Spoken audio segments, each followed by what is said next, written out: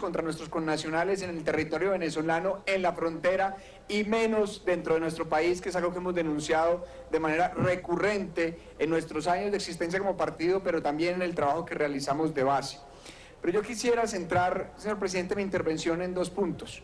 Primero de ellos es que este momento nos tiene que llevar también a tener profundas reflexiones. La representante Olga Lucía planteaba algo que, de lo que me voy a pegar. Ella decía, tiene que haber un pre, un, un, durante y un post. El pre habla mucho del abandono que el Estado colombiano ha tenido de su propio pueblo. ¿Por qué migraron tantos colombianos hacia Venezuela? Las causas del conflicto, las inequidades sociales, las posibilidades de acceder a una oferta de una cantidad de seguros y de sociales y de apoyo eh, social dentro del territorio venezolano que no tenían dentro de nuestro país seguro también tuvo mucho que ver en ello. Yo revisaba durante este último periodo construyeron 700 mil casas. De esas 700 mil, 25% se lo entregaron a colombianos.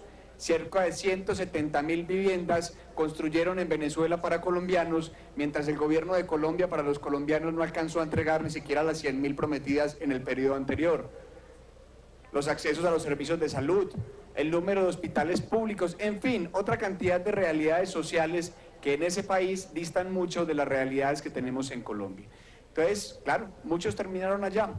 En el durante ya el compañero Alirio Uribe ha expresado que hay limitaciones dentro de estos, dentro de estos decretos de emergencia, declaratura de emergencia frente a la atención de los renglones menos favorecidos de la economía. Alguna respuesta dio el ministro Cristo. Esperemos que eso se materialice en hechos concretos para esta economía informal de este territorio.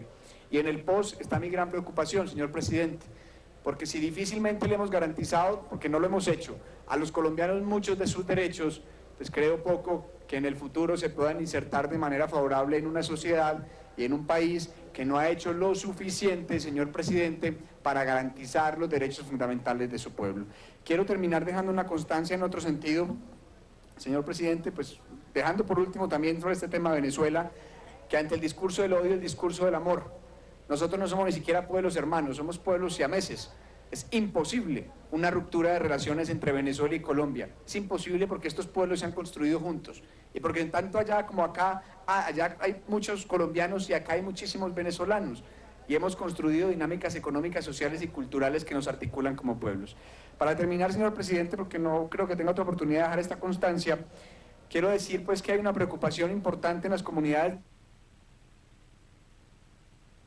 un minuto el representante Correa para que termine su intervención, por favor. Muchas gracias, señor presidente. Hay unas preocupaciones muy grandes en las comunidades de Puerto Gaitán Meta por un posible confinamiento y un posible desplazamiento forzado de las comunidades del Porvenir y Matarratón, relacionado estrechamente esto, señor presidente, con este fenómeno de usurpación de las tierras que están realizando grandes terratenientes, grupos de expropiadores, grandes magnates que han generado invasiones y que han terminado vulnerando las poblaciones de los derechos de estas poblaciones.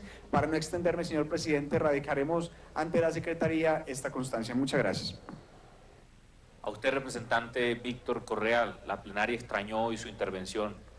Representante Alirio Uribe.